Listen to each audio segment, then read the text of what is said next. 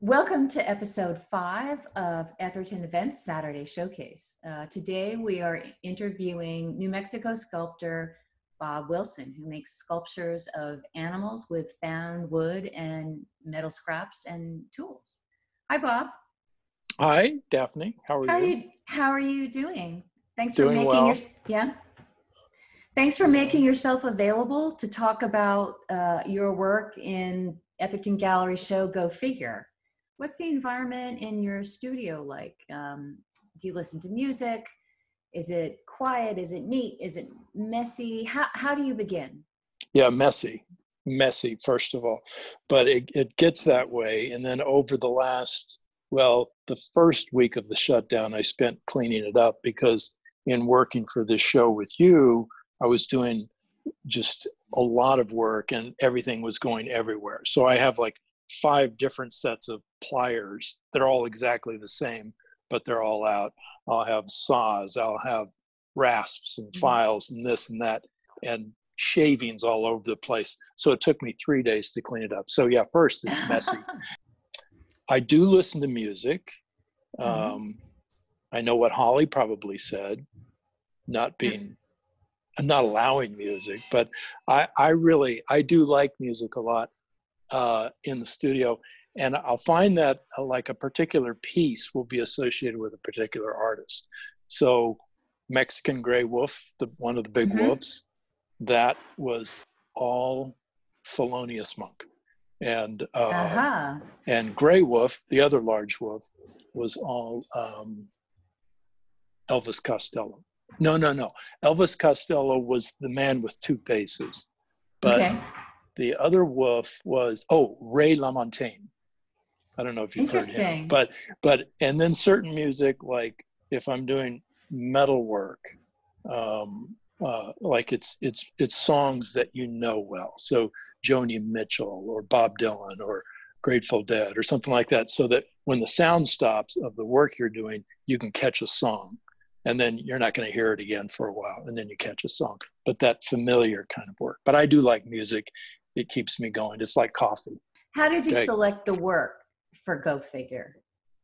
Um, well, first of all, subject matter. So, as you mentioned, a lot of animals, Mhm. um, some outliers, some pieces are not animals, but they're sort of related. Like the Tree of Knowledge has that snake in it, and otherwise it's not, but it's a natural form. It's the tree, it's Adam and Eve.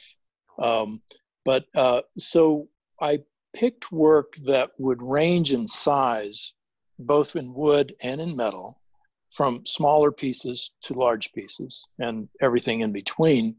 Um, and um, animal or not animal, a lot of it had to do with the way I treated the material. So the, the way I, I handled the wood or what exactly I did with scrap metal, uh, how I used paint. Um, so it was, it was a lot of things that were, it was like um, Tim Gunn and Heidi Klum say on Project Runway. It's like you want, you want to show a range and at the same time a consistency. So that combination of range and consistency is what I tried to do for you. Tell me about the work in the show. In, other words, you created this series of sculpture using found materials. Yeah. Um, can you talk about the artistic process? I think the way the, the choice of materials is particularly interesting. Yeah, I uh, my process is in two parts. It would be always collecting materials, always co- always seeing junk or wood, um, raw wood, green not green wood, but raw wood that is not milled wood, and um, and having it around because it could become something or part of something.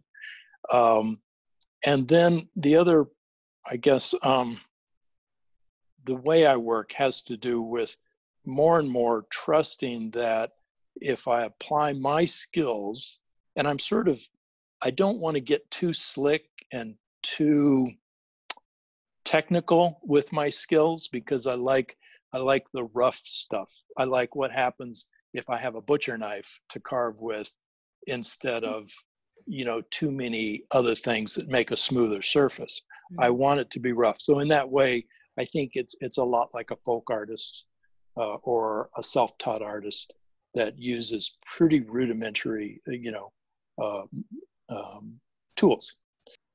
Well, it almost sounds like you're intentionally leaving the work just slightly unfinished, like you're holding back what might give you give someone else a sense of completion but you don't mm-hmm. want to go there. So you you take a step back and you don't right.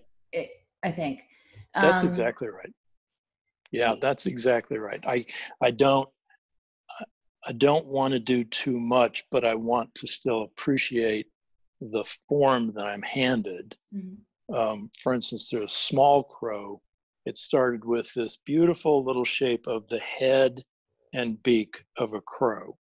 And and then i had all of this was during a, a, uh, welding course that i took. So i had this big scrap of or a pile of steel scrap and i kept taking pieces but it started with just that line and that it was suggestive and then it became the head of the small crow do you have i mean you you are not formally trained but I'm imagining that you read a lot. Um, or maybe that's an assumption, but did you have any people you look to as mentors or influences in your thinking yeah. or the way you work?